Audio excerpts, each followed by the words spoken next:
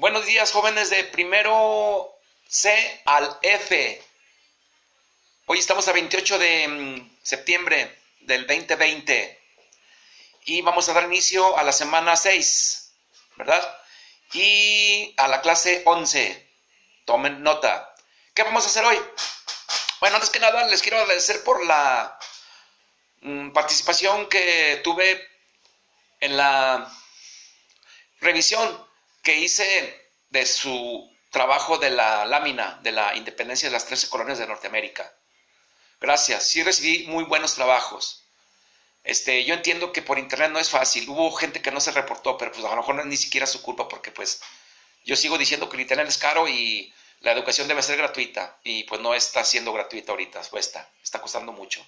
Entonces, este, pues una disculpa por no poder brindar una educación gratuita. Es mi deber brindarla gratuita, pero pues no puedo.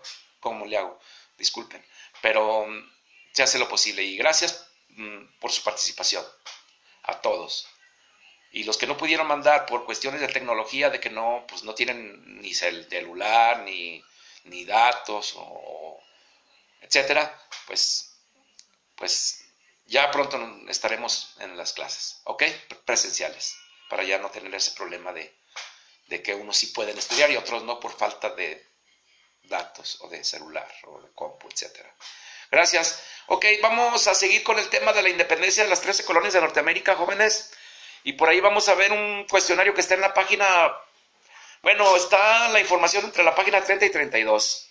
Voy a dictar las preguntas y voy a dar así una breve respuesta para que de ahí se guíen y ustedes puedan dar una respuesta mejor que la que yo les voy a brindar. Sale del tema de las 13 colonias de Norteamérica. Ok, vamos a poner ahí cuestionario abajito de, enseguida, de donde están sus láminas hechas, ¿verdad? Bien, cuestionario, inciso A, vamos a ver. En forma de pregunta, ¿cómo describirían la relación entre la corona inglesa y los colonos americanos? Repito, inciso A, en forma de pregunta, ¿Cómo describirían, perdón, cómo describirían la relación entre la corona inglesa y los colonos americanos? Respuesta tentativa. Sin democracia, coma, sometidos a la corona inglesa, explotados con altos impuestos. Esa es una posible respuesta ¿eh? de la pregunta Punto y aparte, dejen su espacio, unos cuatro renglones. Inciso B, en forma de pregunta, abran signo de interrogación. ¿Qué hechos consideran que provocaron mayor malestar entre los colonos? Cerramos signo de interrogación. Respuesta. El alza de impuestos al té por parte de la metrópoli inglesa. ¿Sí? Respuesta. El alza del impuesto al té por, la, por parte de la metrópoli inglesa. Dejamos ahí espacio para que contesten. Pregunta inciso C, en forma de interrogación. ¿Qué tipo de organización política podía responder mejor a las necesidades de los colonos? Cierre signo. Respuesta. República Federal Democrática. Dejen su espacio, unos tres renglones. Inciso D, en forma de pregunta.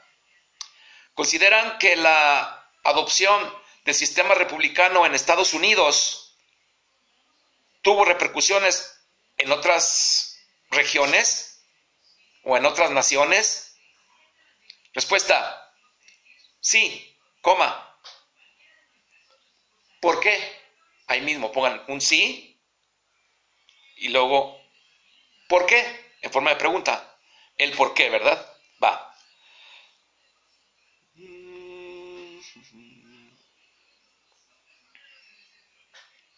Espérenme, me perdí un poco. Sí, ya. ¿Por qué? Muchos países, incluido México,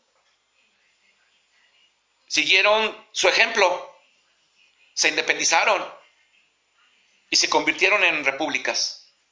México es una república federal, como la de Estados Unidos. ¿Sale? Bien, República Democrática Federal. Es lo que somos. Y Estados Unidos es lo que es también.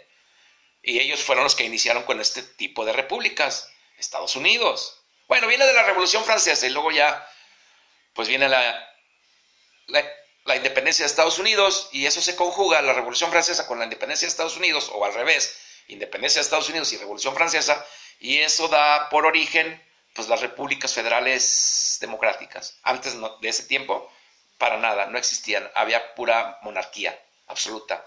Mandaban los reyes, por lo regular, en, en Occidente, en Europa y pues, las colonias.